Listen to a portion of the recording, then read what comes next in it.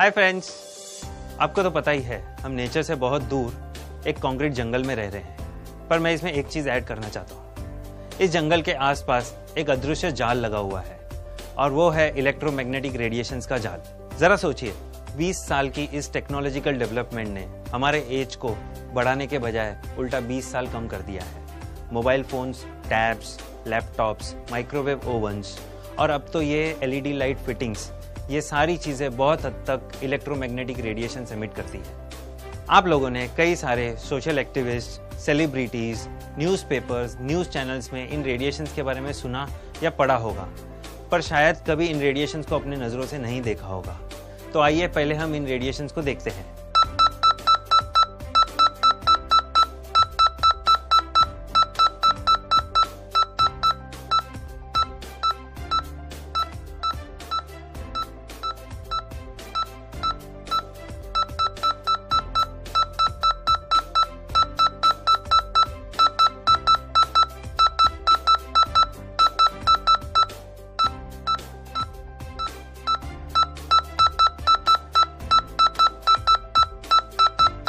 तो देखा आपने, ये रेडिएशंस कितने स्ट्रांग होते हैं और इनका रेडियस कम से कम दो से तीन फीट का होता है। छोटे बच्चे प्रेग्नेंट वुमेन्स और बीमार लोगों के लिए तो ये बहुत ही ज़्यादा खतरनाक है।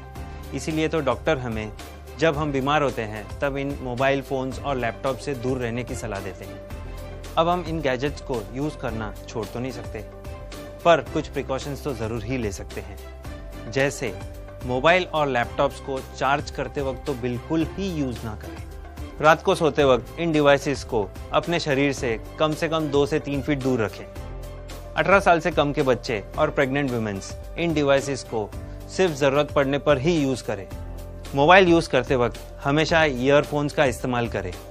कई सारे फोन्स के यूज़र मैनुअल में यह तक लिखा है कि use this device six to eight inches away from your body laptops को कभी भी अपने लैप पर या बॉडी के पास रख कर यूज़ ना करें। मैं मेरे एक क्लाइंट के घर रेडिएशन टेस्ट के लिए गया था।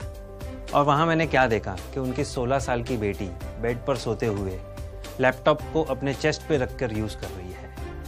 नो no डाउट पिछले कुछ सालों में कैंसर और हार्ट अटैक के केसेस तीन गुना क्यों बढ़ गए हैं? और रेडिएशन इसका एक मुख्य कारण है। रिसर्च ने भी ये प्रूव किया है कि इन गैजेट्स को अगर हम 10 से 15 मिनट अपने बॉडी से कनेक्टेड रखते हैं तो वहाँ का टेम्परेचर कम से कम दो डिग्री बढ़ जाता है। मैंने कई सारे रेडिएशन अवेयरनेस प्रोग्राम्स किए हैं और जहाँ कहीं पे भी मैं जाता हूँ, हर जगह पर पेरेंट्स की यही कंप्लेंट होती है कि हमारे बच्चे हमारी सुनते नहीं और पूरा पूरा दिन मोबाइल्स और लैपटॉप्स पे लगे रहते हैं। तब मेरा उनको एक ही आंसर होता है कि जब तक वो लोग ये रेडिएशंस को देखेंगे नहीं, तब तक समझेंगे नहीं। मैं बस इतना ही चाहता हूँ कि जो लोग पूरा पूरा दिन मोबाइल पर लगे रहते हैं मोबाइल फ़ोन्स को अपने तकिए के नीचे रखकर सोते हैं और लैपटॉप्स को अपने लैप पर या अपने बॉडी पर रखकर यूज़ करते हैं। वो बस ये वीडियो देखे और अपने आप को और आने वाली जनरेशन को इन खतरनाक रेडिएशन से बचा सके। तो प्लीज़ इस वीडियो को इतना शेयर कीजिए कि हमारे देश का हर व्यक्ति इसे देखे और अलर्ट हो जाए। Thank you and good bye